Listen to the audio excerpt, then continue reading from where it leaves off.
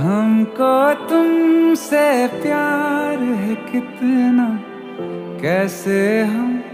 समझाएं